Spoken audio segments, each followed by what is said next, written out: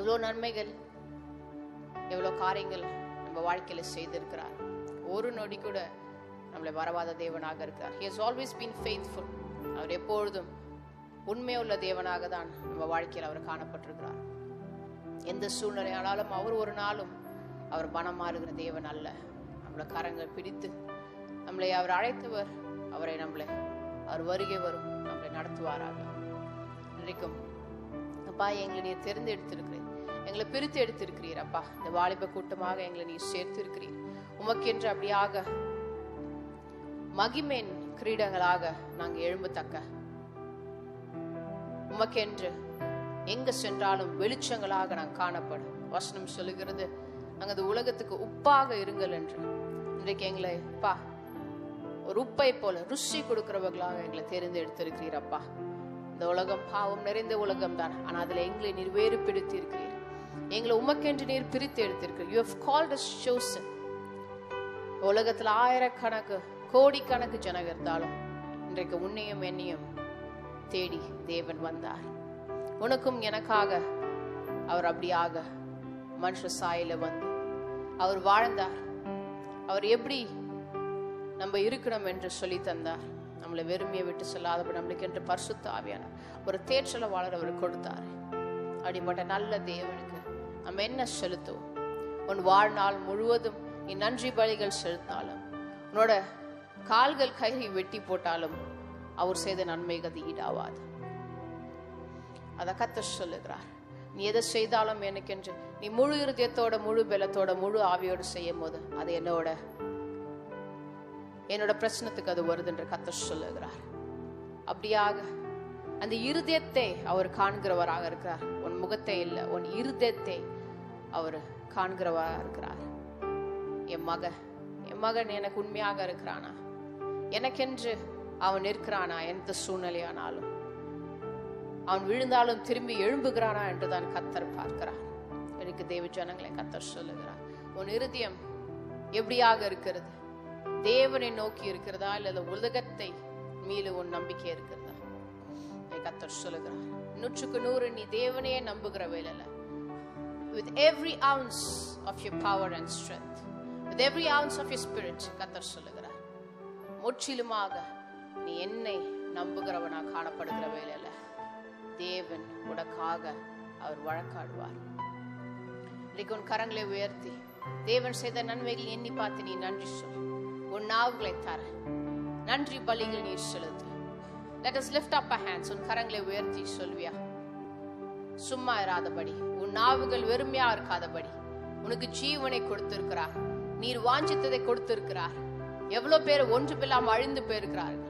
ஆனா இன்றைக்கு உன்னை அப்படியாக சுகத்தோட சௌக்கியத்தோட சமாதானத்தோட உன்னை இந்த இடத்துல வைத்திருக்கிறாரே. நீ தேவனுக்கு என்ன நீ செலுத்துவாய்? உன் நன்றி பலிகளை அவர் எதிர்பார்க்கிறார். அது முழு இருதயத்தோட வேற எதுவுமே எதிர்பார்க்காதபடி நான் சொன்னது போல worship God for who he is அவர் தேவனாக இருக்கிறபடினால் நீ அவரை அப்படியாக நீ தொழுதுக்கோ அவர் தேவனாக இருக்கிறபடினால் நீ அவரை நோக்கி பார் நன்றி சொல்லுவோம்மா. தேங்க்யூ ஜீசஸ் நன்றி அப்பா. நன்றி ராஜாவே. நன்றி அப்பா. ஆயிரம் நாவல்கள் நன்றி சொன்னாலும் போதாதே. அப்பா துதி பலிகள் அப்பா. உமக்கு நாங்க ஏறு இருக்கிறோம் ஐயா. Thank you Jesus for this life you given us இந்த வாழ்க்கை எங்களுக்கு கொடுத்திருக்கிறீரே. நல்ல தாய் தகப்பனு கொடுத்திருக்கிறீரே. நல்ல உற்சர் உறவனை கொடுத்திருக்கிறீரே. அப்பா எல்லா சூழ்நிலையும் அப்பா உமக்கென்று நெருக்க அந்த இருதயத்தை கொடுத்திருக்கிறேன் நன்றி செலுத்துகிறேன். நான் விழுந்தாலும் என்னை கைவிடாதபடி திருப்பியுமாக தூக்கி எழுத்தீரே தேவனே. Thank you for your life father உம்மோட வாழ்க்கைக்காக நன்றி அப்பா. உம்மோட ரத்தத்துக்காக நன்றி. உம் கிருபைக்காக நன்றி. உம் இறக்கத்துக்காக நன்றி அப்பா. அது இல்லைன்னா நாங்க எப்பொழுது மண்ணோட மண்ணாக போயிருப்போம்.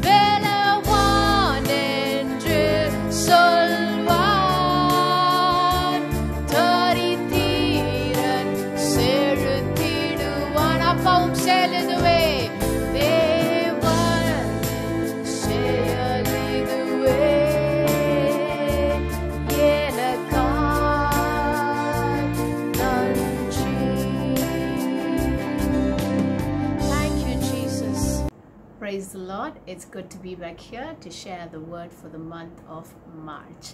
Yes, we're already in the month of March, like literally, days are just vanishing in a moment.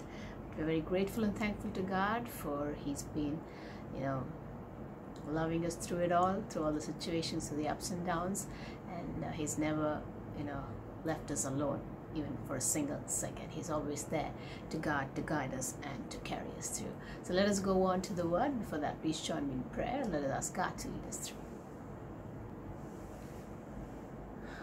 Jesus, Lord, thank you for this wonderful new month you've given us, oh Father God, and thank you for this opportunity for me to share your word.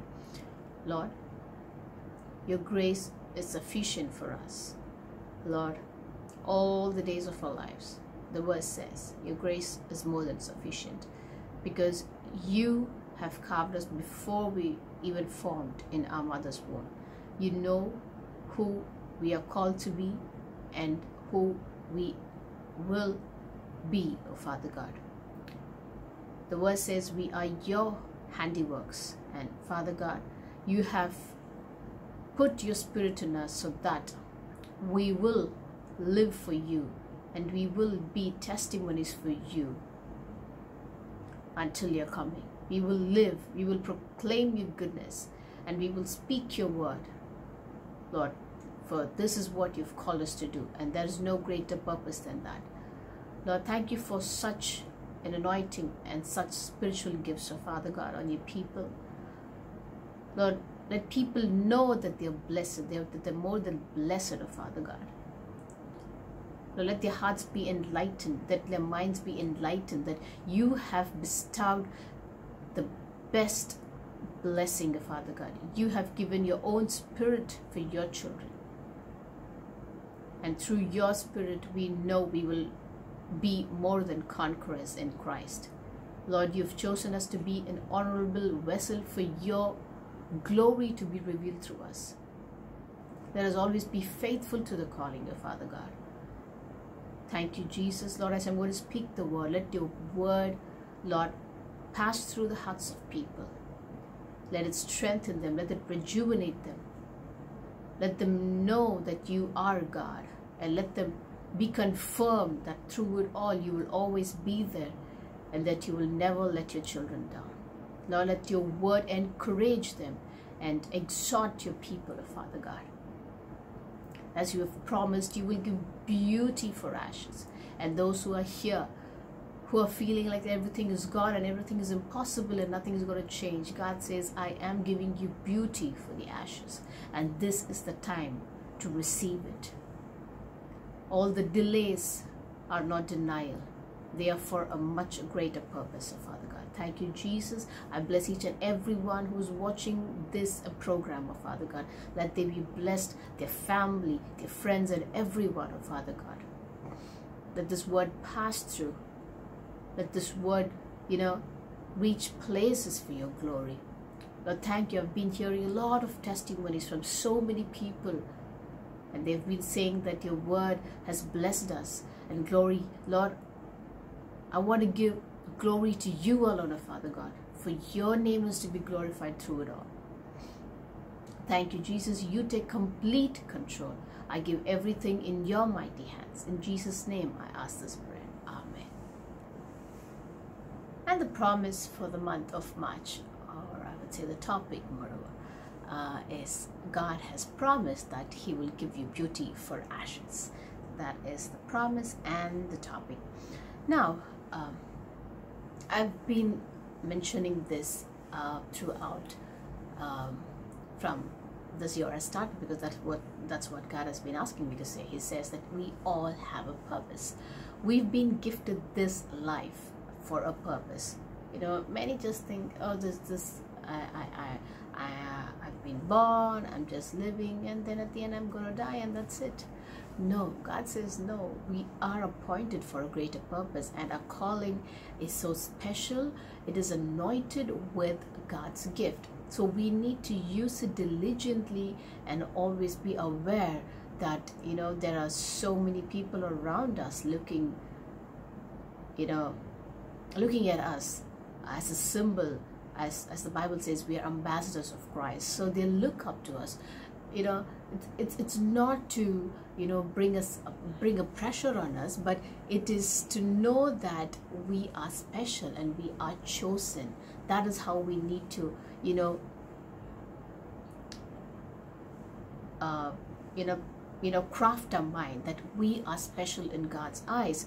There are 19 but 9 and he left all of them to come for us to search for us you know to to, to search you to strengthen you to bless you to gift you and to do his calling. Not everyone are gifted but this is the thing. If you call yourself a child of god then god says you are the chosen one. You have an appointment. You're not just here in this world to just like you know live your own life and just do your thing and then one day it's all gone. No until the day of the lord's coming we have been given this special appointment with a very special anointing an extraordinary anointing the anointing comes with the appointment and when you accept the appointment, God says, I have blessed you. I have bestowed all my special gifts on you. And you need to use that. You can't just stay silent because God will question us, asking, What did you do this time on earth that I gave it to you? Did you fulfill your purpose? And we should be answerable to God and not, you know, standing there and be like, I didn't do anything. No, so always remember that because He has entrusted this on us because He knows that we will do. He trusts us so much. The way we trust God, it's the same way He trusts us. He's like, My child, my daughter will do it for me, my son will do it. I know He will do it. And He's faithful. Yes. So that's what God says. We are the faithful ones.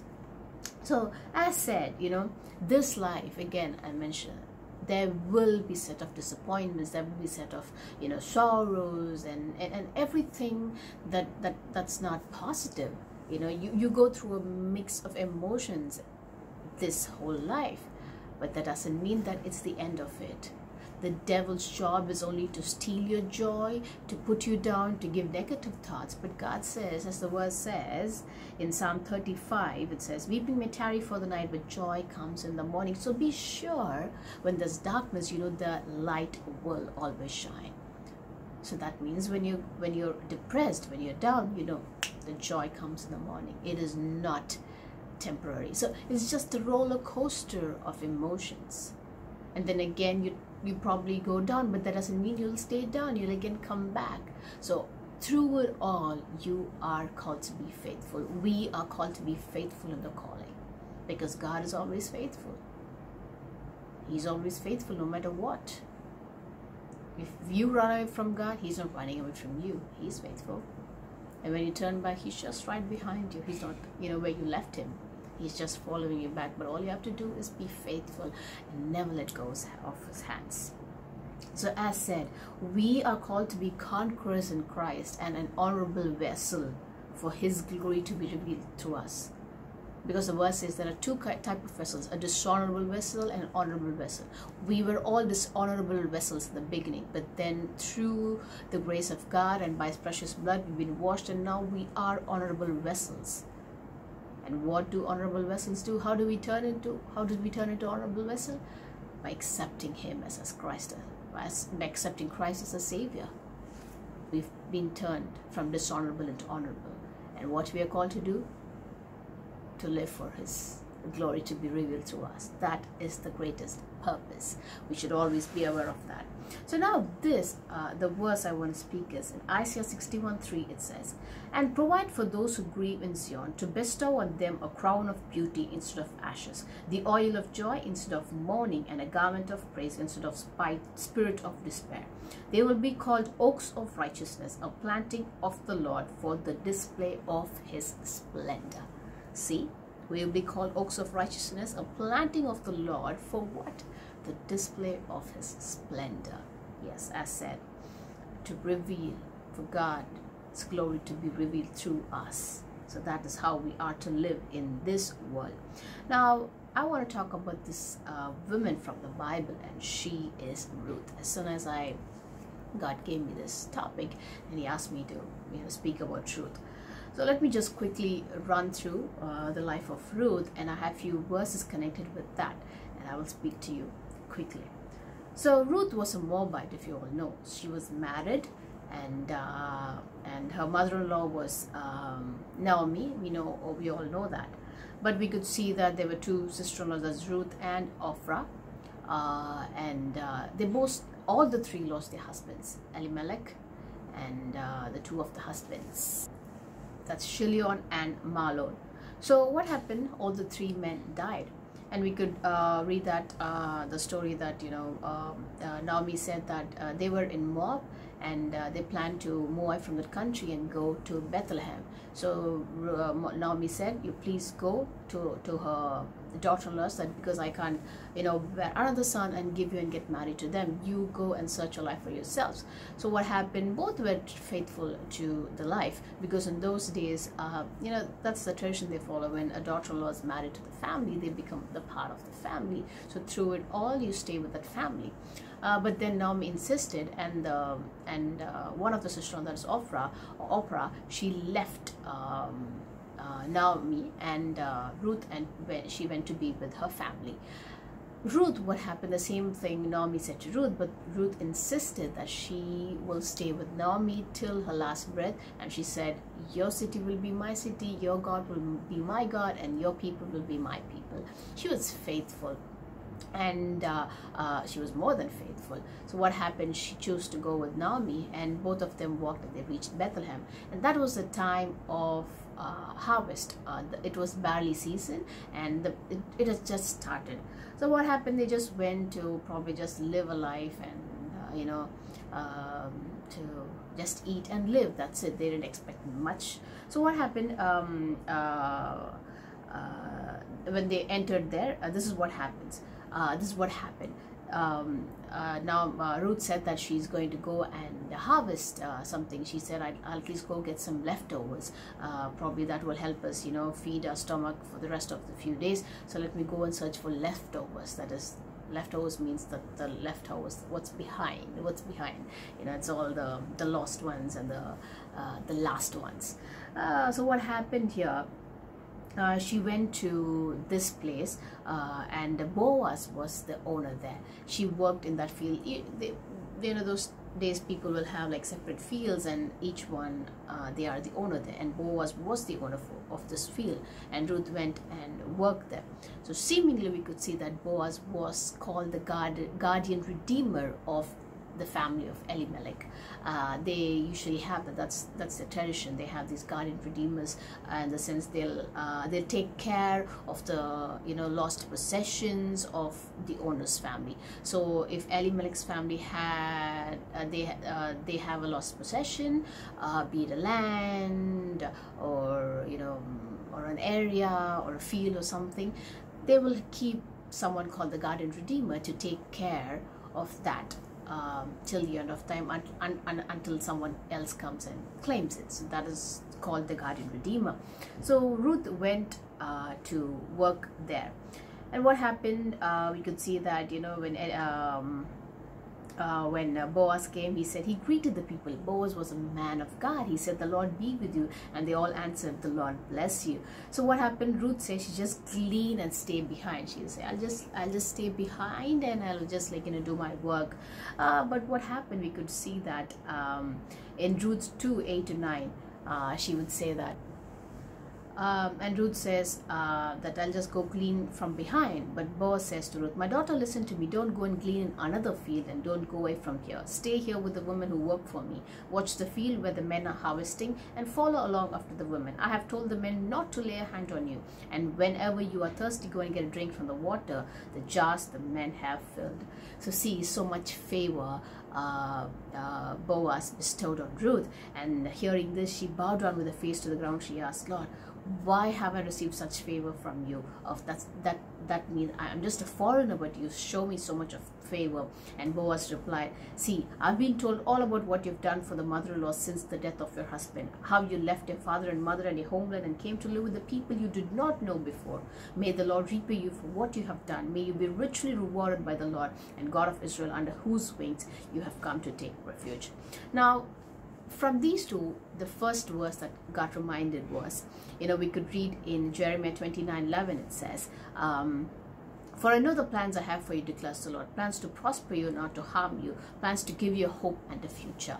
So, this is the first verse that I got reminded. But when we could, when we read Ruth's life um, from the beginning, this verse and her life doesn't really get connected because Ruth lost everything everything literally everything her whole family husband and everything. She left the country and she she she was just barehanded. She had nothing.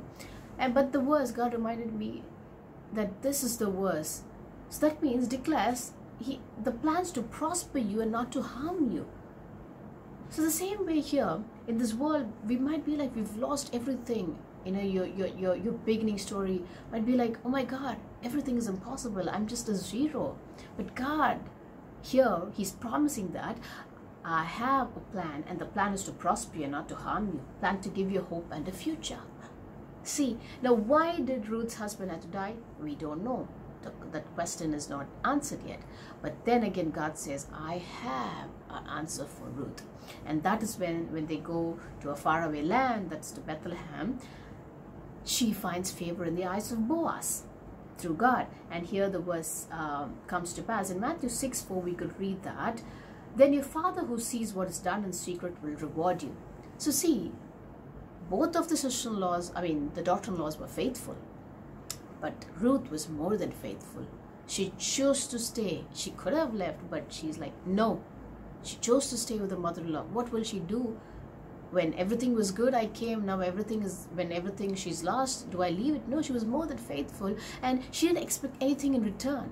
She she just gave a heart. She said i will come with you. I don't expect anything else from you because in those days i said if one son dies the next son marries that uh, the daughter-in-law and it, it goes on. So that is what the tradition is. But then naomi was left with no husband no sons nothing so you could see that Ruth never expected anything. She just did good. She just did good.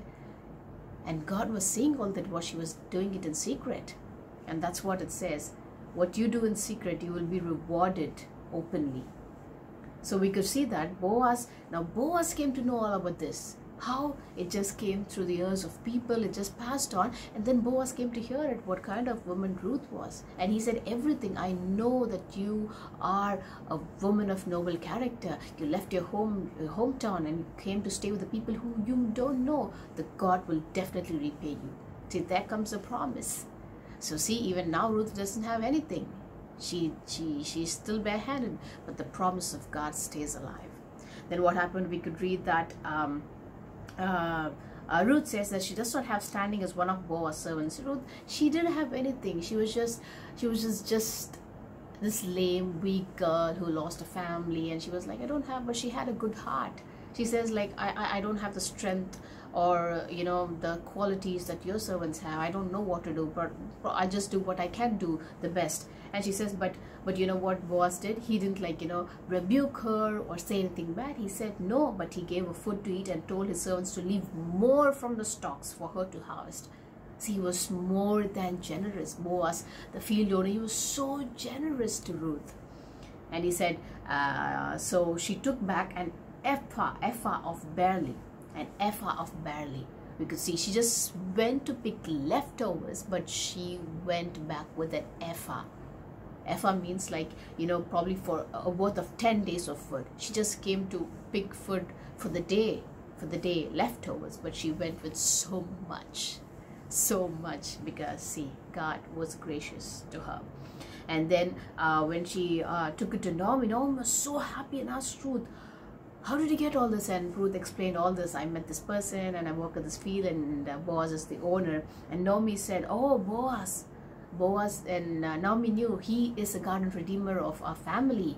So she said, Don't leave that place. You stay till the end of time until the harvest is over. So now uh, I want to speak. Then what happened? Um, uh, we could read that, uh, said, uh, Boaz was the guardian, rede- I mean, guardian redeemer of the family, and it was time for winnowing. So they will just settle things, and uh, everything will be over until the next harvest. There will not be anything. So what uh, Ruth, uh, Mo- Naomi actually planned that here she wanted to, to get Ruth married to Boaz because that is the tradition there you know they don't have sons uh, no naomi doesn't have sons now there's the guarded dream where he has the equal rights as a son because the sons are not there it goes to him so all the last all the lost possess- possessions he can take control. So be it a widow also. So what happened um, naomi said that you go uh, go stay there and um, until the night uh, you stay with boaz. And uh, don't let him know when he goes to sleep you go and sleep under his bed. And let him not know it see in those days when the people get to see this they think oh my god something has happened and they'll get both married. Uh, so naomi probably planned such a thing but ruth was also a god-fearing person and boaz was also god-fearing i mean ruth was also a god-fearing lady and boaz also was a god-fearing man. So what happened? But ruth listened to naomi and did as Naomi said, she went there and Boaz, he got drunk and he just went to the corner of his field and then he slept there. And Naomi, uh, I mean, Ruth went uh, behind and she slept um, under uh, Boaz and Boaz didn't know that. Suddenly, uh, you know, we could read that Boaz was woken up by a sound in the middle of the night and he saw Ruth lying there and he was like, Lady, what are you doing here? And she said, uh, Please give me the corner of your um, cloth, a garment. So that means it's a sign that he accepts her as a wife. But you know what did Boaz said? He was since he was a God-fearing person, he said, I know what you are asking, but I'm so proud of you that you didn't go behind any younger man. Because she was a young lady, probably Boaz was of age, um, probably 10 or 20 years elder, I don't know. Uh, because from this verse, we could see that, that Ruth was younger, and uh, that's what he expected that Ruth would go behind someone else, someone younger. But she chose to, you know, live, you know, and, and, and, and, and fulfill the family's tradition in those days. That is, you, you get married to the next in line. And she was faithful. So what happened and she and uh, we could read that boaz said that um, uh, she didn't go, uh, that, that's what that's when uh, boaz would say that you are a woman of noble character. And what happened he says you stay here till morning and let no one know you go. But uh, i have certain things to finish. That is uh, before me there's one person who's also eligible to get married uh, to you. So first let me ask him and if he says no then i will surely marry you so he gave his word. And what happens? He gave six measures of barley and he told, Go return to Naomi and uh, and be there. So when Ruth left um, uh, to Naomi and uh, Naomi asked what will happen and she explained everything and said, Okay, now let us wait. We need to get the final answer because Naomi wanted to settle Ruth and you know get her married to Boaz or someone. Um, so what happened? Uh, that's why Naomi asked Ruth to do everything because Boaz will definitely give an answer. He will not stay silent. And we could see that next day uh, that uh, Boaz, along with the elders of the town, he met and he spoke about Naomi and he said, see this, this woman who came uh, uh, the clan of uh, Elimelech and they have a land and they are selling it. So um, he asked the other man who is equally responsible and he said, Do you want to get the land? And he said, Yes, I want to get it. And then there comes a condition. He says, If you're getting the land, then you should also marry Ruth. And that is when the land comes completely in your hands. But what he said, No, I can't get get married to Ruth, so I can't do it. So you take over. So what happened? Uh, Boaz, in front of all the people, he said, "So this is it. The condition is sealed. So I am claiming both the land and I am getting married to Ruth." And he gave his word, and we could see that Ruth got married to Boaz. And uh, at, in front of the elders, and everything happened, and we could see they both of them they bore a son named Obed. Obed was the father of Jess, and Jess the father of David. And from that heredity came Jesus. See what a blessing it is. And uh, from all this, I uh, God to, uh, God reminded me of this verse In number 6, 24, 26 says, The Lord bless you and keep you. The Lord make his face shine upon you and be gracious to you. The Lord lift up his countenance upon you and give you peace. Now Ruth has peace. And God's gracious face, you know, was shown upon Ruth. And she was blessed at the end. See, children of God, this is what. And the first verse gets confirmed. See, to bestow on them a crown of beauty instead of ashes. Ruth's life first was like full of ashes. She lost everything. But at the end, we could read that she was crowned with beauty. The oil of joy instead of mourning. She was gifted the oil of joy and a garment of praise instead of spirit of despair. They will be called oaks of righteousness, a planting in the Lord for the display of his splendor. So Ruth and Boaz, both of them were called oaks of righteousness. What does oak of righteousness mean? Oak means in Hebrews deri- derived from the word El. So El meaning God. So they will be righteousness of God. So we could see here that Ruth and Boaz, they were called the righteousness of God and the heritage that followed. So, children of God, this is the blessing that follows every children of God. If you are a child of God, then this is it. You'll be given beauty for ashes. We will have a period of ashes where everything might be dark, where everything might be like going down and not happening according plan. But that doesn't mean you will not see beauty. Just be faithful in your calling. You know, don't look at people and, and, and try to be good in front of them. It should be in you. Continue to do good if you are doing good. Just be good because God has called you to be so. You be faithful in your calling, no matter the situation. The Lord who sees in secret will reward you openly. And we could see that Ruth was rewarded openly. The whole world came to know. There will be the blessing. They will say, Let Boaz be famous uh, and let your family grow. Everything that was spoken came to pass in the life of Ruth. And she was gifted this beautiful life. And, uh, and she turned into an honorable vessel and God's glory was revealed through her. So this is the word I brought to you, child of God, children of God. I hope this, you know, blessed you. Uh, so right now you might be going through a period of mourning or ashes or failures. But that's not the end of it. Get up, stay faithful in your calling, and the God, God who's faithful, will give you beauty for ashes. So this is the word I brought to you. I believe it uh, strengthened you and enlightened you. I will see you again in the coming month of April. Until then, take care. God bless you. Bye bye.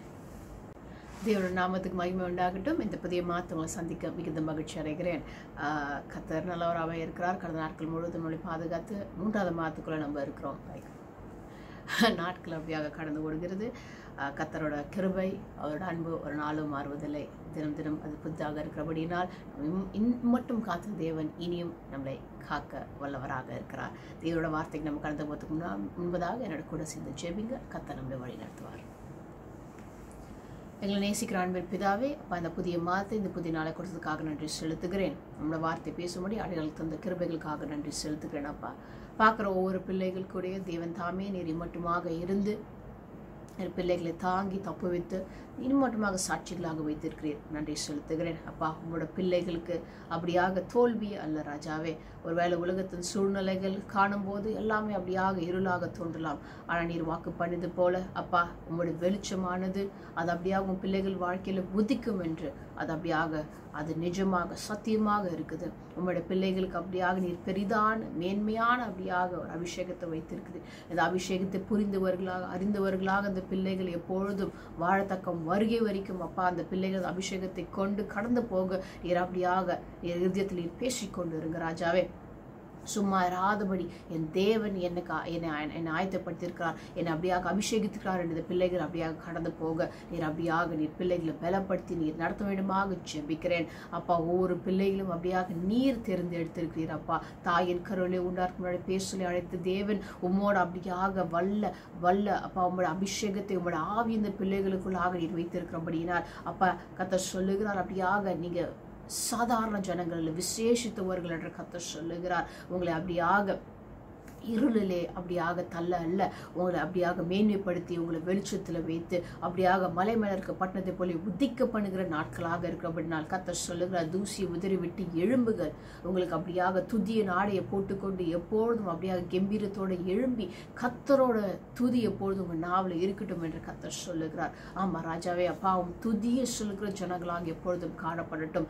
எப்பொழுதும் அப்படியாக சோர்ந்து போனவர்களாக இல்லாதபடி எல்லா சூழ்நிலையும் தேவனோட துதி மாத்திரம் இந்த நாவல் இருக்கட்டும் என துதியினால் மதில்கள் இடிந்து விழும் என்று சொன்ன தேவன் கத்தர் இன்றைக்கு சொல்லுகிறார் உங்கள் மதில்கள் இடிந்து விழுந்தது. அது இன்றைக்கு கத்தர் சொல்லுகிறார். அது ஒன்றுமில்லாம் நான் சாம்பலாக்கி போட்டேன் என்று கத்தர் சொல்லுகிறார்.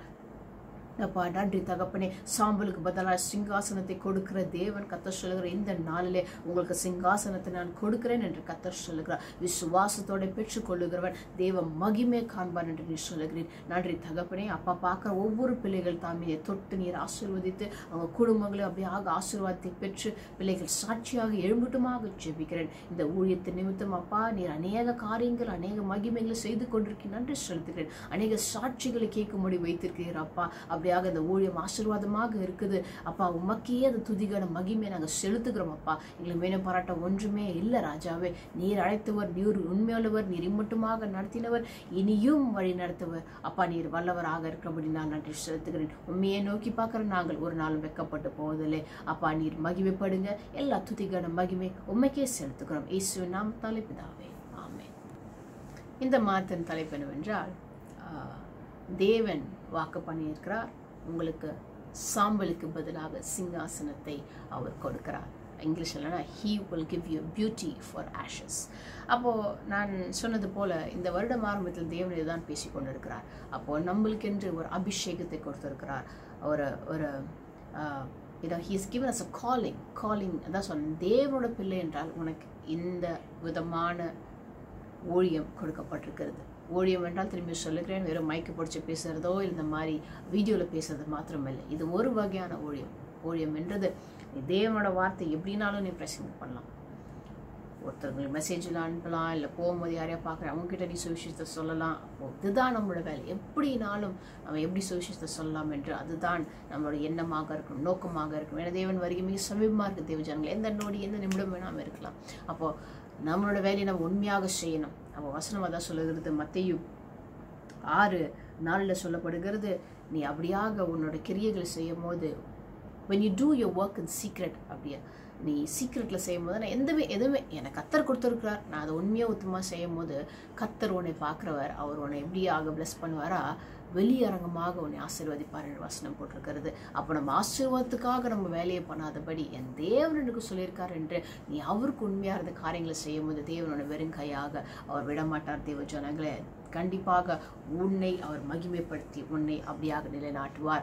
அப்போ சொன்னது போல இந்த வாழ்க்கை என்பது நம்மளுக்கு தேவன் கொடுத்த ஒரு ஈவாக இருக்கிறது. நிறைய பேர் எல்லாம் நினச்சின்னு இருக்கிறாங்க வாழ்ந்த பிறந்தோமா வாழ்ந்தோமா செத்தோமா? அப்படின்னு. இல்லை. வசனம் சொல்லுகிறது இந்த வாழ்க்கையை தேவன் கொடுக்குற ஈவாக இருக்கிறது. அப்போ ஈவுனா என்னென்னா இட்ஸ் கிஃப்ட் ஃப்ரம் காட் அப்போ கிஃப்ட் நம்ம பெற்றுக்கொண்டோம்னா அது சரியாக பிரோஜனப்படுத்தணும் இன்னைக்கு ஒரு பர்த்டே அவங்களுக்கு யாரோ ஒரு கிஃப்ட் கொடுக்குறாங்கன்னா திருப்பி திடீர் எதுக்கோ அடுத்த நாள் திடீர்னு ஏதோ கொஞ்சம் நாட்கள் கழிச்சு வராங்க. அந்த கிஃப்ட் அப்படியே ஓரமாக உடஞ்சி போய் குப்பை மாதிரி குப்பை தடி பக்கத்தில் தான் அவங்களுக்கு பார்த்து என்ன இறுதி உடஞ்சி போயிடும். ஐயோ என்னடா நம்ம கிஃப்ட் கொடுத்து இப்படி இருக்குது அடுத்த வாட்டி கிஃப்ட் கொடுக்கணுன்னே அவங்களுக்கு தோணாது. அப்போ அதுவே வந்து நீங்கள் நல்லா யூஸ் பண்ணி நாங்கள் பாருங்கள் யூஸ் பண்ணுறோம் அப்படின்னு சொல்லிட்டு நீங்கள் நல்லா வச்சுருந்தீங்கன்னா அவங்களுக்கு பார்க்கும்போது பா நான் கொடுக்குற நல்லா யூஸ் பண்ணுறாங்கப்பா அப்போ அவங்களுக்கு நான் சந்தோஷமாக இருக்குது இன்னும் கொடுக்கணும்னு ஆசை வரும். அதே தான் தேவ சொன்னீங்களே அப்போ இந்த வாழ்க்கை தேவன் நம்ம ஈவா கொடுத்துருக்காருன்னா அது நல்லா விதமான சரியான விதத்தில் பிரோஜனப்படுத்தணும் அப்போ அந்த ஈவோட கத்தை சொல்லுகிறான் நான் அபிஷேகத்தையும் கொடுத்துருக்கிறேன் என்று. அப்போ இந்த வாழ்க்கையானது தேவனுக்கு என்று நம்ம வாழ கற்றுக்கொள்ளணும். அப்போ நிறைய பேர் வச்சுக்கோங்க தேவனுக்கு வாழனா அப்போ வெறும் சுவிசேஷம் சொல்லிகிட்டே இருக்கணுமா? அப்போ நம்ம வாழ்க்கையில் இல்லை அப்படி கிடையாது. சுவிசேஷம் என்றது நம்ம மூச்சு காற்றை போல. நம்மளுக்கு கத்த சொல்கிறார் உன் ஆத்மா வாழ்வது போல நீ வாழ்ந்து சுகித்தீருன்னா எல்லா நன்மையும் கொடுப்பார். நீ எதெல்லாம் வாஞ்சிக்கிற தேவன் சித்தத்தின்படி அது நன்மையாக இருந்தால் எல்லாமே உனக்கு கொடுப்பார். ஒன்றுத்திலையும் குறை வைக்க மாட்டார். ஆனால் என்ன ஆனாலும் அதை சொன்னது போல் வாழ்வானம் தாழ்வானம் சுகமானம் சுகவீனமானாலும் நம்ம கல்யாணத்தில் சொல்கிறோம் அதே நீ தேவனிடத்தில் சொல்லணும். என்ன ஆனாலும் நான் தேவன் எனக்கு வைத்திருக்கிற அந்த காலிங் அந்த அபிஷேகத்தை அந்த அனாய்ட்டிங்கை அதை நான் விட மாட்டேன் என்ன ஆனாலும் அது எப்பொழுதுமே நாவில் இருந்து கொண்டே இருக்கட்டும். எங்கே போனாலும் நீ சாட்சி சொல்லும்படி எங்கே போனாலும் அந்த அபிஷேகத்தை நீ கொண்டு போகிற நீ பயன்படுத்துகிற ஒரு ஜனமாக ஒரு மகளாக மகனாக நீ காணப்பட வேண்டும் தேவ ஜனங்களே. நிறைய பேர் சந்தோஷமாக இருக்கும்போது மட்டும் அப்படி இப்படி சொல்லுவாங்க. அப்படி சோர்ந்து கஷ்டமாக இருக்கும்போது அடப்பா என்ன தேவன் என்ன இது? அப்படியே அப்படியே இல்லை கத்தர் சொல்லுகிற எல்லா சூழ்நிலையிலையும் நீ மனரம்யமாக கஷ்டமாக தான் இருக்கும். ஆனாலும் என் தேவன் எனக்கு வாக்கு பண்ணதை அவர் செய்து முடிப்பார் என்று விசுவாசத்தோட எம்பிரித்து பாடும்போது அப்பொழுது அவர் சொன்ன வாக்கு தத்தம் சாம்பலுக்கு பதிலாக சிங்காசத்தை சிங்காசத்தை கொடுப்பார். ஏன்னா இன்னைக்கு உலகத்தில் சோர்வாக இருக்கும் போது எல்லாம் விட்டு போகிற ஜனங்கள் நிறைய பேர் இருக்கிறாங்க. நன்மையாக இருக்கும் சந்தோஷமாக இருக்கிறாங்க கத்தரை துதிக்கிறாங்க. அப்படிப்பட்ட ஜனங்கள் தேவன் தேவனுக்கு தேவையில்லை. எல்லா நேரத்திலையும் உண்மையாக எல்லா நேரத்திலையும் அந்த துதி கொஞ்சம் சோர்ந்து போனால் இருந்தாலும் திரும்பி நீ எழும்பி இல்லை. நான் என் சிங்காசனத்துக்கு நான் கடந்து போவேன். என் தேவன் என் நம்பிக்கை என் தேவனாக இருக்கிறார். அந்த அந்த பாடல் சொல்லுது என் நம்பிக்கையே உமக்கு ஸ்தோத்திரம். என் புகழிடமே உமக்கு ஸ்தோத்திரம். என் நம்பிக்கையே உமக்கு ஸ்தோத்திரம். என் புகழிடமே உமக்கு ஸ்தோத்திரம். உம்மைத்தான் நான் நம்பியிருக்கேன். அற்புதங்கள் எனக்கு செய்வீரப்பா. நான் அப்படிதான் பாடுவேன். அற்புதங்கள் எனக்கு செய்வீரப்பா. நீ அவரை நம்பும் போது டெஃபினட்டாக செய்வார். நீ கெஞ்சணும்னு அவசியமே கிடையாது. அப்போ நம்ம என்ன செய்யணும்? நம்மளோட வேலையை நம்ம செய்ய வேண்டிய வேலையை உண்மையாக ஒத்துமா செய்யும் போது தேவன் என் மேலே அருளை பண்ணியிருக்கிறார். நான் உண்மையாக இருப்பேன் என்று செய்யும் போது உன்னை அவர் மகிமைப்படுத்துவார் தேவ ஜனங்களை. அப்போ தான் சொன்னது போல் சூழ்நிலைகள் வரும் போராட்டங்கள் வரும் எல்லாம் வரும். ஆனால் அது எப்பொழுதும் நிரந்தரம் அல்ல. அது மாறி போகும். அடுத்த நாள் உனக்கு திருப்பியும் சந்தோஷம் உதிக்கும். தேவ ஜனங்கள் அதுதான் சங்கீதம் முப்பது ஐந்தில் போட்டிருக்கிறது. அப்போது நம்ம எப்படிப்பட்ட பாத்திரமாக இருக்கோமோ கனமுள்ள பாத்திரமாக நம்மளை மாற்றிருக்கிறார் கனம் இல்லாத பாத்திரம் கனமுள்ள பாத்திரமாக மாத்திருக்கார் நம்ம தேவன் இல்லாத போது வி ஆஃப் of dishonorable.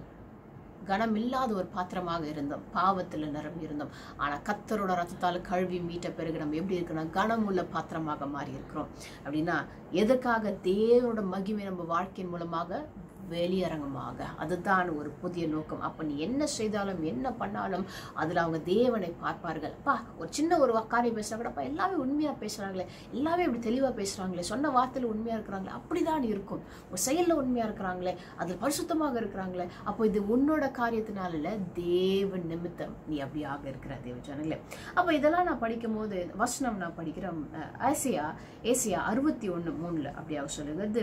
சியோனிலேயே துயரப்பட்டவர்களுக்கு துயரப்பட்டவர்களுக்கு அஹ், சீர்படுத்தவும். அவர்களுக்கு சாம்பலுக்கு பதிலாக சிங்கார சிங்காரத்தையும் துயரத்துக்கு பதிலாக ஆனந்த தைலத்தையும் ஒடுங்கின ஆவிக்கு பதிலாக துதியின் உரையையும் கொடுக்கவும் அவர் என்னை அனுப்பினார். அவர்கள் கத்தர் தம்முடைய மகிமைக்கென்று நாட்டின நீதியின் விருட்சங்களை விருட்சங்கள் எனப்படுவார்கள். ஆமேன். அப்போ பாருங்களேன். இதற்காக தான் தேவன் நம்மளை தெரிந்து கொண்டிருக்கிறார். அப்போ நம்மளும் அப்படித்தாங்க இருக்கோம். எப்படின்னா தேவனோட நாட்டுப்பட்ட நீதியின் விருட்சங்களை போல இருப்போமா? சிங்காசத்துக்கு பதில் சாம்பலுக்கு பதிலாக என்னது? சிங்காரத்தை நம்மளுக்கு கொடுக்கிற தேவனாக இருக்கிறார். அப்போ இதை படிக்கும்போது யாரை பற்றி அப்படின்ற பேசும்போது தேவன் சொன்னார் ரூத்தை பற்றி நீ சொல்லு என்று. அப்போது நான் குயிக்காக சொல்கிறேன் அப்போ அவரோட வாழ்க்கையை பற்றி பேசி அதில் ஒரு சில வசனங்களையும் நான் கனெக்ட் பண்ணுறேன் அவரோட வாழ்க்கை எப்படியாக மாறினது இந்த வசனங்கள் எப்படியாக பைபிளில் பைபிள் இல்லை பட் அந்த ஒரு ஒரு பகுதி அவரோட வாழ்க்கையில் எந்தெந்த வசனம் கனெக்ட் ஆகுது என்று கத்தர் எனக்கு கொடுத்தார். அதே போல் இப்போ நம்ம வாழ்க்கையும் அப்படிதான் இருக்கிறது. பிகினிங் ரூத்தின் வாழ்க்கை ஆரம்பத்தில் பார்த்தா சாம்பலாக தான் இருந்தது. அப்போ எந்த வசனம் இன்னைக்கு நம்மளை தேற்றும். அப்போது திரும்பி நடுவில் பார்க்கும்போது அவளுக்கு ஒன்றுமே இல்லை. ஆனால் தயவு பாராட்டினார் போவாஸ் மூலமாக. அப்போ அப்போ எந்த வசனம்? அப்போ கடைசியாக பார்க்கும்போது அவளுக்கு எல்லாமே நன்மையாக மாறினது. அப்போ எந்த வசனம் அவளுக்கு இனம் கனெக்ட் ஆகும்? எந்த வசனம் அது இனம் அது அதோட ஈக்குவலாக ஆகும். நம்ம அதையும் பார்ப்போம். இப்போ நான் குயிக்காக நான் சொல்லிட்டு போகிறேன் ரூத் யாருன்னா ஒரு மோபியார் மோபியராக இருந்தா. ஷி வாஸ் அ மோபைட் அப்படின்னு சொல்லிட்டு மோபியராக இருந்தா. அப்போ அவளுக்கு என்னென்னா அவளுக்கு இருந்த அவள் வந்து நவமியோட மருமகளாக இருந்தா. ஆப்பரா என்று அப்படியே ஒரு மரும ரெண்டு மருமகள் இருந்தாங்க. அப்போது அந்த குடும்பம் எலி எலிமெலக் அந்த குடும்பத்தின் தலைவர் எலிமெலக் அவங்களுக்கு ரெண்டு பசங்க இருந்தாங்க. ரெண்டு மகன்கள் அவங்க கிளியோன் மாலோம் என்று. அப்போ மாலம் தான் ரூத்தோட புருஷன். அப்போ பார்த்தா எல்லா ஆண்களும் இறந்து செத்து போயிட்டாங்க. செத்து போன உடனே என்னாச்சு? நவமி என்ன பண்ணுறான் இந்த ஊரில் இனிமேல் இருந்து நான் என்ன பண்ண போகிறேன் வா நம்ம எப்படியா எங்கேயாவது போ எல்லாமே நம்ம இழந்துட்டோம் அப்படின்னு சொல்லி என்ன பண்ணுறா அப்போ ரெண்டு மருமகள் கிட்டே சொல்றா அந்த மாதிரி என்னோட இருக்காதுங்க எனக்கும் வயசாயிடுச்சு. இனிமேல் நான் கல்யாணம் பண்ணி புள்ள பெற்று கொடுத்து அந்த காலத்தில் அப்படி தான் ட்ரெடிஷன் என்னென்னா வந்து அடுத்த ஒரு மருமகளோட புருஷன் இருந்துட்டாங்கன்னா அடுத்த மகன் இருந்தால் அவங்க தான் கல்யாணம் பண்ணிப்பாங்க. ஆனால் பார்த்தா புருஷனும் அவளுக்கு இல்லை நவமிக்கு மகனுங்களும் இல்லை இறந்துட்டாங்க. இனிமேல் நான் கல்யாணம் பண்ணி ஒரு புள்ளைய பெற்று அவங்கள வளர்த்து எப்படி உங்களுக்கு கட்டி கொடுக்க முடியும்? உங்களுக்கு வயசாயிடும். ஆனால் நீங்கள் சந்தோஷமாக இருக்கணும் நீங்கள் வாழணும் அப்படின்னு சொல்லி என்ன பண்ணுறா ரெண்டு மருமகள் சொல்ல நீங்கள் உங்கள் ஊருக்கே போயிடுங்க. அவங்க அம்மா அப்பா கிட்ட போயிடுங்க. அவங்க உங்களுக்கு பார்த்து நல்லா வாழ்க்கை கொடுப்பாங்க. அப்போ என்ன பண்ணால் ரெண்டு பேருமே உண்மையாக தான் இருந்தாங்க ரெண்டு மருமகளும். அப்போ ஓப்ரா என்றவள் அவர் சொன்னால் அந்த மாதிரி இல்லை நானும் கூட இருப்பேன். ரூத் சொன்னால் இல்லை நாங்களும் ஒன்று இருப்பேன். அப்போ திருப்பியும் சொல்லும் போது நாம என்ன பண்ணால் நீ தயவுசெய்து நீங்கள் போயிடுங்கன்னா ஓப்ரா என்ன பண்ணால் சரின்னு சொல்லிட்டு அவங்கள கட்டி முடிச்சு நான் போகிறேன்னு சொல்லிட்டு அவள் போயிட்டா. அதனால அவளும் உண்மையாக தான் இருந்தா. அவள் போனதும் தப்பு கிடையாது. சரியா? ஆனால் ரூத் என்ன பண்ணா? அவள் உண்மையும் அவள் ரொம்ப ஒரு அன்பானவள் ரொம்ப உண்மையாக இருந்தா. சரியா? அப்போ அவள் என்ன ப- சொன்னா அந்த மாதிரி இல்லை இல்லைங்க. நான் என்ன ஆனாலும் உங்களோட தான் இருப்பேன். என்ன நடந்தாலும் உங்களோட தான் இருப்பேன். உன்னோட ஜனம் என்னோட ஜனம். உம்மோட இடம் என்னோட இடம். உம்மோட தேவன் என்னோட தேவன். சாகிற அளவுக்கு நான் கூட தான் இருப்பேன் என்று அவள் வாக்கு பண்ணி அவள் என்ன பண்ணா கூடவே அவள் கடந்து போனான் அதுக்கப்புறம் நாமி தெரிஞ்சுட்டா இவ போக மாட்டான்னு சொல்லிட்டு அவங்க ரெண்டு பேரும் கடந்து போவாங்க. கரெக்டாக எங்கே போனாங்க பெத்திலேயும் போனாங்க. பெத்தலேம் அப்போ தான் என்னன்னா வந்துட்டு அறுவடை நாட்கள் அப்போது பேர்லி பார்லின்வாங்க அப்போ அது அறுவடை பண்ணுற நாட்களாக இருக்குது. அதை அறுவடை பண்ணும்போது அவள் சொன்னால் இந்த மாதிரி கரெக்டான நேரத்தில் தான் வந்திருக்கோம் நம்ம. நீ போ நீ போயிட்டு என்ன பண்ணு? இந்த மாதிரி அறுவடை செய்வாங்க. ஒரு யாராவது ஆளுங்க இருப்பாங்க அவங்க கீழே போய் நீ பின்னாடி போய் நீ வேலை செய்யு. அப்படியே டெய்லி அங்கே போய் வேலை செஞ்சுட்டு நீ அப்படியே கொஞ்சம் இதுவாக செட் ஆகிடு அப்படின்னு சொல்லி பண்ணுவாள் அப்போ என்ன பண்ணுவாள் அப்போது இது ஃபஸ்ட்டு நான் சொல்லும் போது பாருங்களேன். அப்போ ரூமே நாம் ரூத் எல்லாத்தையும் இழந்தவளாக அப்போ எந்த வசனம் கனெக்ட் ஆனதுன்னா இறங்கியா இருபத்தி ஒம்பது பதினொன்றில் சொல்லியிருக்கிறது நீங்கள் எதிர்பார்த்திருக்கும் முடிவை உங்களுக்கு கொடுக்கும்படி நான் உங்கள் பேரில் நினைத்திருக்கிறேன் நினைவு நினைவுகளை அறிவேன் என்று கத்தர் சொல்லியிருக்கிறார். அவைகள் தீமைக்கு அல்ல சமாதான கேதுவான நினைவுகள். இப்போ பாருங்களேன் இப்போ திடீர்னு நூத்தோட வாழ்க்கை ஃபர்ஸ்ட் படிக்கும்போது இந்த வசனம் கனெக்ட் ஆகுமா? ஆகாது. என்னடா அது எல்லாமே சமாதானக்கு கேதுவாக ஒன்றுமே இல்லை எல்லாமே தலைகீழ இருக்குது. ஆனால் இங்கே என்ன சொல்லியிருக்கிறது? உனக்கு சமாதானக்கு கேதுவான முடிவை நான் தருவேன். நீ எதிர்பார்த்துருக்க முடிவு. அப்போ இதுவா ரூத் எதிர்பார்த்திருப்பா? எல்லாம் இழந்து போனோம் இல்லைன்னு? இல்லை. God speaks about the future நம்ம ப்ரெசண்ட்டை பார்த்து சோர்ந்து போகிறவர்களாக நம்ம காணப்படுகிறோம். ஆனால் கத்த சொல்கிற அந்த வசனத்தை உன்னை தேடுகிறார். அப்போ இப்பொழுது ஒருவேளை சாம்பல் நாட்களாக இருக்கலாம் இல்லை இழந்த நாட்களாக இருக்கலாம் அப்படியாக ஆசீர்வாதங்கள்லாம் தூர போன நாட்களாக இருக்கலாம். ஆனால் கத்தர் சொல்லுகிறார் உன் பேரில் நினைத்து நினைத்திருக்கிற நினைவுகளை நான் அறிந்திருக்கிறேன். அது எதற்காக? அது எதற்காக? தீமைக்கல்ல நன்மைக்காக என்று கத்தர் சொல்லுகிறார். அவள் அவர்கள் வந்து என்னது? சமாதானக்கு ஏதுவான நினைவுகள். டெஃபினட்டாக உன் வாழ்க்கையில் சமாதானம் உதிக்கும் தேவ ஜனங்களே. அப்போ பாருங்களேன் அப்பொழுது ஒரு வேளை பைபிள் இருந்தால் ரூத் இந்த வசனம் படித்து அவள் தேடிருப்பா அப்போ அப்போ அதுக்கப்புறம் நம்ம பார்க்க முடியும் என்ன பண்ணுறா ரூத் அடுத்த நாள் காலையில் அவங்க ஏன் எங்கே போகிறாங்க அவள் வந்து ஒரு இடத்துக்கு போகிறான் அங்கே போய் சரி நம்ம மிச்ச மீதியை அந்த காலத்துல அப்படிதான். என்னென்னா வந்துட்டு உங்கள் கதிர் வெட்டும் போது இந்த அறுவடை செய்யும் போது விழறதெல்லாம் பொறுக்கக்கூடாது. அது வந்து ஏழை ஜனங்களுக்கு இந்த மாதிரி விதவைங்களுக்கு அவங்க வந்து எடுத்துக்கணும்னு. அப்போ என்ன பண்ற? நீ அதை போய் தான் பொறுக்க போறா. சரி ஏதோ ஒன்று பொறுக்கிட்டு வரலாம் நம்மளுக்காக நம்ம வயிற்று பசிக்கு போகலான்னு சொல்லிட்டு போகிறான் அங்கே போகும்போது என்ன பண்றா? போவாஸ்ன்ற ஒருத்தனோட நிலையில தான் நிழல் நிழல் நிழலத்தில் அவள் வேலை செய்கிறாள் அப்போ அங்கே போகிற போவாசும் யாருன்னா தேவனோட மகனாக இருந்தா வந்தோடனே அவன் என்ன சொன்னான்னா தேவன் உங்களோடு இருப்பாராக. அப்போ அந்த ஜனங்கள் என்ன சொன்னார்? தேவன் உங்களை ஆசீர்வதிப்பாராக. பாருங்களேன் ரொம்ப சந்தோஷமாயிடும். நீங்கள் பாருங்கள் ஒரு இடத்துக்கு போகிற இல்லை நான் வந்து இன்ஸ்டாகிராம்லேயும் எதாவது பார்க்கும்போது யாராவது ஒரு ப்ரொஃபைலுக்குள்ளே போகும்போது மேலே வந்துட்டு தேவனோட வார்த்தை I'm a child of God இல்லை இதோட அந்த மாதிரி கத்தரோட கனெக்டடாக போட்ட உடனே ஒரு சந்தோஷமாயிடும். பா பரவாயில்லடா இப்படிப்பட்ட ஒரு இடத்துல கூட தேவனை மகிழ்படுத்த ஜனங்க இருக்கிறாங்க என்று. அப்போ அதே போல தான் இருந்திருக்கிறோம் ரூத்துக்கு ஆ தேவனோட மகன் போல. அப்போ என்ன ஆகிடும் ஆயிடும் இந்த மாதிரி அப்போ பாஸ் பற்றி கேட்குறான் இந்த மகள் நீ யாருமா அப்படின்னும் போது நான் தான் ரூத் இந்த மாதிரி நவமி நான் எழுதுன்னு சொல்லிட்டு அவ சொல்கிறா ஓ உன்னை பற்றி நான் கேள்விப்பட்டேன். அப்போ அதுக்குள்ளே இவங்க ஊருக்கு அப்போ தான் வந்தாங்க. அதுக்குள்ளேயே நியூஸ் வந்துடுச்சு. அப்போ பாருங்க எல்லாம் எப்படி பயங்கர வேகமாக வேலை செய்கிறவங்களாக இருக்கிறாங்க. அவ சொல்கிறா இந்த மாதிரி வந்துட்டு இந்த மாதிரி நான் சும்மா நான் பின்னாடி நின்றுட்டு மிச்சம் மீதி நான் பொறுக்கிட்டு போகிறேங்க அப்படின்னு சொல்லி சொல்கிறான் அப்போ பாஸ் சொல்கிறாரு இந்த மாதிரி இல்லைம்மா உன்னை பற்றி நான் கேள்விப்பட்டேன். நீ வந்துட்டு நீ போய் வேற எங்கேயோலாம் நீ போய் எடுக்காத. இங்கேயே இரு. நீ இங்கேயே அந்த பெண்களோட நீ வேலை செய் அந்த ஆண்கள் வேலை செய்யும் போது நீ பாரு நீ எல்லாமே என்ன பண்ணு? நான் சொல்கிறேன் ஜனங்க கிட்ட ஆண்கள் கிட்ட நான் மிரட்டி வைக்கிறேன். உன் மேலே யாரும் கை வைக்கிறேன் நான் விதவையாக இருக்கிறேன். ஸோ யார் வேணும் தப்பாக நடந்துக்கலாம். நான் மிரட்டி வைக்கிறேன். அப்போ நீ என்ன பண்ணு? இங்கேயே இரு. உனக்கு என்ன வேணுமோ நீ எடுத்துக்கோ. அதே மாதிரி உனக்கு தண்ணி தாகம் இருந்தால் அந்த தண்ணியில் தண்ணியில் இருந்து நீ கூட. அந்த மாதிரி யாருமே வேலை செய்கிறவங்களுக்கு இல்லை தயவு பாராட்ட மாட்டாங்க.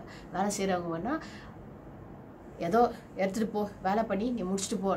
முதலாவது முக்கியமா என்ன காரியம்? போவாஸ் தேவனோட மனுஷனாக இருந்தபடினா அவன் இரக்கம் காட்டுகிறவனாக இருந்தான். அப்போ இது யார் மூலமா? தேவனது இருதயத்தை அவனுக்கு கொடுத்துருக்கார் அப்போ விசேஷமாக இங்க ரூத்துக்கு இரக்கம் காட்டுகிறவனாக அவன் மாறினான் என்று நம்ம படிக்க முடியும். அப்போ இதை கேட்டோடனே ரூத்துக்கு அவன் நினச்சா ஐயோ நம்மளை அப்படியே இது பண்ணுவாங்க அது பண்ணுவாங்க அவள் எதிர்பார்த்தது வேற ஒன்று ஐயோ நம்ம ஏதோ நம்ம விதவையா நம்ம எல்லாத்தையும் எழுதி நம்ம மதிக்க மாட்டாங்கன்னு. ஏன்னா அவளுக்கு அதுக்கே தகுதியில் வேலை செய்யறதுக்கு? அவள் ஒரு நல்ல குடும்பத்துலேருந்து வந்திருக்கலாம். நான் இழந்தவொடனே ஐயோ எனக்கு எப்படி வேலை செய்யறது தெரியலையே என்ன பண்ணுறதுன்னு தெரியலையே அப்படின்னும் போது இப்படி நான் ஒன்றுமே எதிர்பார்த்து வரலாம் நான் எனக்கு இவ்வளோ தயவு பாராட்டுறேங்கன்னு சொல்லி அவள் சொல்லுவா இந்த மாதிரி எஜமானே எனக்கு இவ்வளோ தயவு கொடுக்குறீங்களே நான் ஒரு வெளியாள். ஆனால் எனக்கு இப்படி செய்றீங்களேன்னு கேட்கும்போது அவன் பாஸ் சொல்லுவார் உன்னை பற்றி நான் அநேக நான் கேள்விப்பட்டேன். நீ குடும்பத்தை எல்லாம் விட்டு நீ உன் ஊர் கூட போகாமல் ஆனால் உன் மாமியார் கூட வந்து நீ இப்போ உண்மையாக இருக்கிறியே. நான் எல்லாத்தையும் நான் கேள்விப்பட்டேன். அவன் என்ன பண்ணுறான் போவாஸ் ஆசீர்வதிக்கிறாங்க தேவனோட டெஃபினட்டாக நீ நீ செய்த காரியங்களும் பலனுக்கு கத்தர் உனக்கு திரும்பிமாக தருவார் உன்னை ஆசீர்வதிப்பார். அப்படின்னு சொல்லிட்டு அவன் என்ன சொல்கிறார் போவாஸ் ஆசீர்வதித்து போகிறார் அப்போ இந்த மாதிரி ரூத் சொல்கிறா உங்கள் வார்த்தை வந்து என்னை வந்து என்ன பண்ணுது? என்னை திடன்படுத்துது என்னை பலன்படுத்துது நன்றி என்று சொல்லிட்டு என்ன பண்ணுறா அவள் அதே மாதிரி போகும்போது என்ன பண்ணுறா அந்த மாதிரி அவங்க வெறுமையா நீ வெறுங்கை அனுப்பாத என்ன சொல்லு அந்த இந்த மாதிரி ரூத் சொல்கிறா எனக்கு தகுதி கூட இல்லைங்க எனக்கு வேலை செய்யறதுக்கு ஆனால் நீங்கள் எல்லாமே எனக்கு கொடுக்குறீங்களே அது போக சொல்லுவார் நீ எதுவுமே கவலைப்படாதன்னு. போகும்போது என்னன்னா எஃபா அப்படின்னா ஒரு எஃபா ஆஃப் பார்லின்னு சொல்லி போட்டிருக்குது அப்படின்னா அவள் வந்துட்டு மிச்ச மீதிய பொறுக்க வந்தா. இப்போ எஃபானா பத்து நாளைக்கு அளவு சோறுக்கு அவள் கொண்டு போனாலாம் அவ்வளோ கொடுத்து அமிச்சாரா? என்ன சொல்ல போவா சொல்லியிருக்கிறான் அந்த மாதிரி நீ வந்து இன்னும் எக்ஸ்ட்ராவாக அவளுக்கு நீ போட்டு நீ கொடுங்க அப்போ பாருங்களேன் எவ்வளோ ஒரு கிருப ஒரு தயவு போவாஸ் கண்களிலே ரூத் பெற்றுக்கொண்டாள். என தேவன் அவரோடு இருந்தபடியினார் அப்போ இதுக்கு என்ன வசனம் எனக்கு ஞாபகம் வருதுன்னா மத்திய ஆறு நாளில் சொன்னது போல இங்கே பாருங்களா அப்பொழுது அந்தகாரத்தில் பார்க்கிற உன் பிதா தாமே உனக்கு வெளியரங்கமாய் பலன் தருவார். அப்போ ரூத் அவ அவ பாருங்களேன் அவ எதுவும் எதிர்பார்க்கல. அவ நினச்சிருந்தா குடும்பத்தோட போயிருக்கலாம் அவ பாட்டை வாழ்ந்து அங்கே இருந்திருக்கலாம். ஆனால் நன்மையிலையும் அவள் கூட இருந்தாள் ஏன்னா அந்த காலத்துலலாம் இப்போ அப்படிதான். கணவரோட குடும்பம்னா கணவரோட குடும்பத்தோட அந்த மருமகள் வந்து இணைந்திரும் என்ன ஆனாலும் அதுதான் ஒரு உண்மையான ஒரு ஒரு வாழ்க்கை இருந்தது அப்போ அவள் பாருங்க நன்மையிலையும் அவள் கூட இருந்தா இனிமேலையும் அவள் என்ன பண்ணுறா கஷ்டனாலும் நான் கூட இருப்பேன். ஏன்னா அவள் அறிஞ்ச ஐயோ உங்கள் அம்மா இருந்தா நம்ம விட்டு போயிருக்க மாட்டாங்க. எங்கே போவாங்க? நவம்பி மட்டும் தனியாக இருந்தா. ஏன்னா அப்புறம் போயிட்டா. அப்போ சொன்னால் இல்லை நான் கூட இருப்பேன். அப்போது இப்படிப்பட்ட ஒரு ஒரு ஒரு ஒரு ஒரு இருதயத்தை தேவன் அங்கீகரிக்கிறார். அவர் அவர் அது அதில் பிரியமாக இருக்கிறார் தேவ ஜனங்களே. அதனால அப்புறம் கெட்டவ கிடையாது. ஆனால் இவ அதுவும் மீறி அவ செய்யும் போது இவ எது எதிர்பார்த்து செய்யலை. ஏன்னா நவமி இதாக ஒரு கல்யாணம் பண்ணல நவமிக்கு ஒரு மகன் இருந்து செஞ்சாலும் சொல்லியிருப்பாங்க. ஓ அதனால தான் அவள் செய்கிறான்னு எதுவுமே கிடையாதுங்க நவமிக்கு. அவள் ஒன்று வெறுங்கையாக தான் இருந்தா. ஆனால் அப்பயும் தான் உண்மையாக இருந்த போது பாருங்களேன் தேவன் இதை எல்லாம் பாற்று கொண்டிருந்தார். அதுதான் சொல்கிறார் அப்போ டெஃபினட்டாக கத்தர் உன்னை ஆசீர்வதிப்பார் என்று தான் போவா சொல்றா. அப்போ அதுதான் இந்த வசனத்தில் கனெக்ட் பாரு. என்னன்னா வெளியரங்கமாய் உனக்கு பலன் தருவார். அப்போ ரூத்துக்கு வெளியரங்கமாக பலன் கிடைத்து கொண்டு இருக்கிறது போவாஸ் மூலமாக. அதுக்கப்புறம் நம்ம படிக்க முடியும். அவளுக்கு வந்து இந்த மாதிரி சாப்பாடு கொடுத்து அமிச்சிட்டான். அதுக்கப்புறம் அடுத்த நாள் என்ன பண்ணுறா அந்த மாதிரி அந்த அறுவடையெல்லாம் முடிகிற நாட்கள். அப்போ ரூத் நவமி சொல்கிறா அவள் தெரிஞ்சுக்கிட்டா ஐயோ முடிஞ்சிருந்தா இதுக்கப்புறம் அடுத்த அறுவடை வரும்போது அது ஒரு வேளை வருஷங்கள் போகும். ஐயோ நீ அது வரைக்கும் என்ன பண்ணுவேன்னு ரூத் நவமி ஒரு பிளான் பண்ணிட்டா. ரூத் எப்படியாவது நம்ம கட்டி கொடுத்துடணும். ஏன்னா போவாஸ் யாருன்னா இந்த குடும்பத்தின் அவனும் ஒரு தூரத்து சொந்தம் தான் அந்த காலத்தில் எப்படின்னா வந்துட்டு அவங்களோட இடங்கள் ஏதாவது ஒரு இடத்துல இருந்ததுன்னா அதை பார்த்துக்க இந்த வந்து ஒரு ஆட் ஆட்களை வந்து நியமிப்பாங்க. அப்போ இங்கிலீஷ் என்ன கார்டியன் ரிடீமர் அப்போ என்னென்னா அப்போது அந்த பொசஷன்ஸ் அந்த ஓனர் அங்கே இல்லைன்னா அதை பார்த்துக்கிறதுக்கு இந்த மாதிரி ஆளுங்க இருப்பாங்க. அப்படிப்பட்டவன் தான் யார்? அஹ், போவாஸ். அப்போ எலிமலைக்கோட அந்த சொந்தத்திலே வந்தவன் தான். அப்போது நாமி சொல்கிறான் இவனும் சொந்தம் தான் உனக்கு அவனை கல்யாணம் பண்ணிக்க உரிமை இருக்குது. நீ என்ன பண்ண? நான் சொல்கிறதெல்லாம் செய்யுன்னு சொல்லிட்டு இது முடிகிற அந்த அறுவடை முடிஞ்சோடனே எல்லாம் முடிஞ்சோடனே பாஸ் போய் குடிச்சிட்டு போய் படுப்பான். நீ அவன் கால் கீழே போய் படுத்துக்கோ அவனுக்கு தெரியாமல் இது என்ன பிளான்னா வந்துட்டு தப்பாக நடந்துக்கலாம் இல்லை. காலையில் பார்க்கும்போது ஜனங்க பார்க்கும்போது அவங்க தப்பாக நினச்சிப்பாங்க. அப்போ என்ன பண்ணுறோம் கல்யாணம் கட்டி கொடுத்துருவாங்க. நவமிக்கு வந்துட்டு சரி இப்படி நடந்தால் அவளுக்கு எப்படியும் ரூத்துக்கு ஒரு வாழ்க்கை கிடச்சிரும். அவளுக்கு தெரியல பாஸ் பற்றி நிறையா அவன் தேவன் பயந்தவன் அப்படின்னு தெரியும் தெரியல. அப்போ இப்படி ஒரு பிளான் ரூத்து உண்மையாக இருந்தவள் தான். ஆனால் நவமி கீழ்ப்படிஞ்சு அவன் என்ன பண்ணான் சரி தப்பா நம்ம நட சொல்லின்னு சொல்லி அவ்வளோ போய் கம்முன்னு போய் கீழே போய் எல்லாம் முடிஞ்சோடனே கால் கீழே போய் படுத்துக்கிட்டா. அந்த அந்த போர்வை காலில் தூக்கிட்டு போய் படுத்துக்க திடீர்னு போஸ் நடுவில் ஏஞ்ச உடனே திடீர்னு பார்க்கும்போது இவ படுத்துன்னு போஸ்க்கு தூக்கி வரி போடுச்சு. வா நீ என்னமோ படுத்துனருக்கு என்ன ஆச்சுன்னு? அப்பா உடனே பாரு எதுவுமே சொல்லலை. இந்த மாதிரி உங்களோட துணியின் ஓரத்தை எங்களுக்கு நான் கொடுங்க. அப்படின்னா அந்த காலத்தில் என்னென்ன அதுக்கு அர்த்தம்னா என்னை கல்யாணம் பண்ணிக்கோங்க. என்னை ஏற்றுக்கோங்க அப்படின்னு சொல்லி ஒரு அர்த்தம். அப்போ போஸ் இதை கேட்டோடனே அவன் ரொம்ப ஆச்சரியப்பட்டான். அவன் அவன் சொல்கிறான் நம்ம படிக்க முடியும் அதை. என்ன சொல்கிறான்னா நீ வந்து சின்ன பசங்க பின்னாடி போல ஒரு அப்பப்போ இதெல்லாம் தெரிஞ்சுக்க ரூத் ஒரு சின்ன மகளாக தான் இருந்தா பாருங்களேன். அதுலேயே எல்லா வாழ்க்கையும் இழந்து அவள் இருக்கும்போது நான் சந்தோஷப்படுற ஆச்சரியப்படுறேன். நீ வாலிப பிள்ளைங்க சின்ன வயசு சின்னவங்க பின்னாடி போல ஒரு போஸ் கொஞ்சம் பெரியவனாக ஒரு வர இவளோட பத்து வயசோ பதினஞ்சு வயசு பெரியவனாக இருந்திருப்பான் ஆனால் நீ உண்மையாக அப்போ அந்த காலத்தில் சொன்னது போல ட்ரெடிஷன் என்னென்னா அந்த குடும்பத்தின் ஆளுங்களை தான் கல்யாணம் பண்ணிப்பாங்க. அப்போ நீ உண்மையாக இருக்கணும்னு நீ நினைக்கிற. அப்போ உன்னை உன்னை உன்னை வந்து நான் பாராட்டுறேன். You're a women of noble character அப்படின்னு சிறந்த ஒரு மக எல்லாத்தையும் எல்லாத்துலையும் சரியாக இருக்கிற அப்படி ஒரு மகளாக இருக்கிற டெஃபினட்டாக நான் உனக்கு செய்ய வேண்டியது உண்மையாக நான் செய்து முடிப்பேன். ஆனால் ஆனா அவர் மாதிரி எனக்கு முன்பதாக ஒரு ஆள் இருக்கிறான். அவன் உன்னை ஏற்றுக்கிறான்னா நான் வந்து அவன்கிட்ட கொடுறேன். அவன் இல்லைன்னா நான் டெஃபினட்டாக உனக்கு கல்யாணம் பண்ணிக்கிறேன். அவன் வார்த்தையை கொடுத்துட்டான். கொடுத்துட்டு என்ன பண்ண நீ காலையில் யாருக்கும் தெரியாமல் நீ ஏஞ்சி போயிடணும் போது அதே மாதிரி காலையில் போகும்போது அவன் என்ன பண்ணுறான் அவன் கடந்து போயிடுறான் அவன் போகும்போது என்ன பண்ணுறான் ஆறு அளவு இந்த மாதிரி பார்லியை கொடுத்து அனுப்புகிறான் அப்போ போகும்போது நவமி கேட்குற என்னெல்லாம் ஆச்சுன்னு நவமி ரூத் எல்லாத்தையும் சொல்கிறான் சரி இன்னும் உனக்கு பதில் வரும் அப்படின்னு சொல்லிட்டு என்ன பண்ணுறான் அதுக்காக தான் என்ன பண்ணான் நவமி இப்படி ஒரு பிளானை போட்டு அவன் டெஃபினட்டாக ரூத் போவாஸு கண்டிப்பாக ஒரு பதில் சொல்லியே அவன் இப்படி நடந்துச்சுன்னா அப்படின்னு ஒன்று என்ன பண்ணான் அதுக்கு தான் நவமி இப்படிலாம் பிளான் பண்ணான் அப்புறம் அடுத்தலாம் என்ன ஆகும்? பாஸ் எல்லாரையும் ஆட்கள்லாம் கூப்பிட்டுட்டு பெரிய அந்த ஊர் ஒவ்வொரு தலைவர்களாக கூப்பிட்டு அவங்களுக்கு முன்னாடி இந்த மாதிரி சொல்லுவான் இந்த மாதிரி நாமி இங்கே வந்திருக்கா அவங்களுக்கு தெரியும் அவள் கதையை பற்றி எல்லாத்தையும் இழந்து வந்தவங்க அவளோட இடம் இங்கே இருக்குது. அதை வாங்குறதுக்கு இந்த மனுஷன்தான் பாஸுக்கு முன்னாடி ஒரு மனுஷன் இருக்கிறான். அவனுக்கு உரிமை இருக்குது. அவன் வாங்கினான்னா நான் வாங்க முடியாது. அப்போ அவங்ககிட்ட கேட்குறான் நீ வாங்குறியாப்பான்னு? அவனும் நான் வாங்கிடுறேன் அப்படின்ட்டான். ஆனால் அங்கே ஒரு கண்டிஷன் போடுறார் போவாஸ் என்னன்னா இந்த மாதிரி நீ இடத்த வாங்கினா அதோட கூட சேர்ந்து ரூத்தும் நீ மனைவியாக ஏற்றுக்கொள்ளணும். அப்போது அவன் ஒரு வேளை கல்யாணம் பெற்றவனாக இருந்தான்னு எடுத்துட்டு அவன் சொல்லுவான் இல்லை இல்லை நான் அப்படி எடுத்துக்க முடியாது. எனக்கு பிரச்சனை வந்துடும் என்னோட இடத்துக்கு பிரச்சனை வந்துடும் சொல்லி அவன் சொல்லிட்டு இருந்த மாதிரி என்னால் கல்யாணம் பண்ணிக்க முடியாது. அப்போ போஸ் சொல்ல அப்போ உனக்கு இடமும் கிடையாது. அப்படின்னும் போது அந்த ஆள் சொல்லுவான் நீயே இடத்தையும் எடுத்துக்கோ ரூத்தையும் எடுத்துக்கோ. அப்படின்னும் போது அப்போ ரூ போவாஸ் என்ன பண்ணுவான் ஊர் ஜனங்க முதல்ல ம- ம- எல்லாரும் முன்னாடியும் இதுதான் அங்கே நடந்தது. அப்போ நான் இடத்தையும் நான் எடுத்துக்கிறேன் ரூத்தையும் மனைவியாக எடுத்துக்கிறேன்னு சொல்லிட்டு ஊர் ஜனங்க முன்னாடி எல்லாம் இது பண்ணோடனே அதுக்கப்புறம் படிக்க முடியும். அவங்க ரெண்டு பேருக்கும் கல்யாணம் ஆனது கல்யாணம் ஆன பிறகு ஒரு ஆண் குழந்தைய தேவன் அவங்களுக்கு ஆசீர்வாதமாக கொடுத்தார். அவன் அவன் பேரு பேர் தான் ஓபேத். ஓபேத் யாருன்னா ஜெஸ் ஜெஸ்ஸினோட தகப்பன். ஜெஸ் யாருன்னா தாவிதோட தகப்பனாக தான்.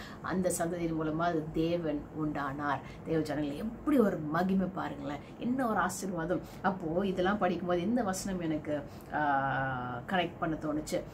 தேவன் சொன்னார் இந்த என்னாகும்? ஆறு இருபத்தி நாலுலேருந்து இருபத்தி ஆறு. பாருங்களேன். கத்தர் உன்னை ஆசீர்வதித்து உன்னை காக்க கடவார் கத்தர் தம்முடைய முகத்தை உன்மேல் பிரகாசம் பண்ணி உன்மேல் கிருபையாக இருக்க கடவார் கர்த்தர் தம்முடைய முகத்தை உன்மேல் பிரகாசமாக்கி உனக்கு சமாதானம் கட்டளையிடுவாராக.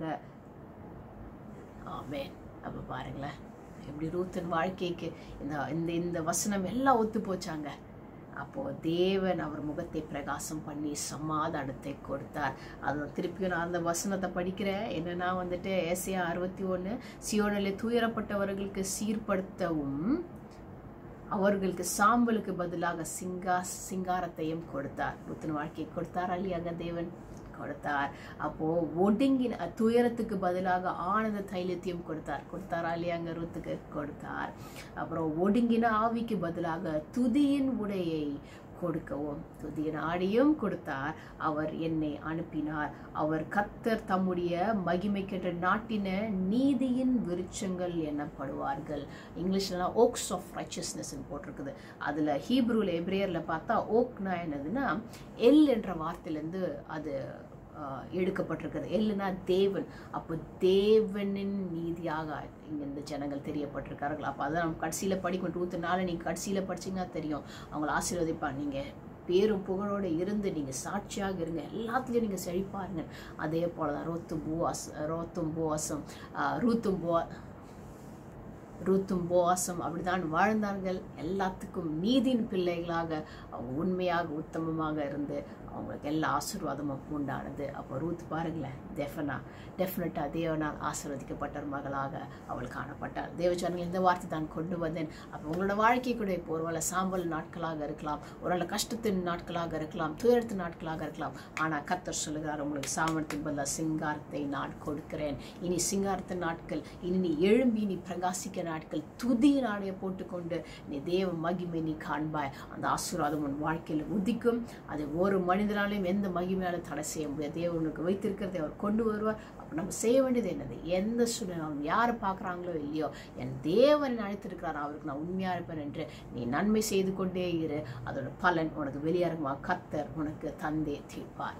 தேவ ஜனங்கள் இந்த வார்த்தை கொண்டு வந்து ஆசீர்வாதமாக இருந்தாலும் நம்புகிறேன். திரும்ப புதிய மாத புதிய வார்த்தையோடு சந்திக்கிறேன். Until then God bless bye bye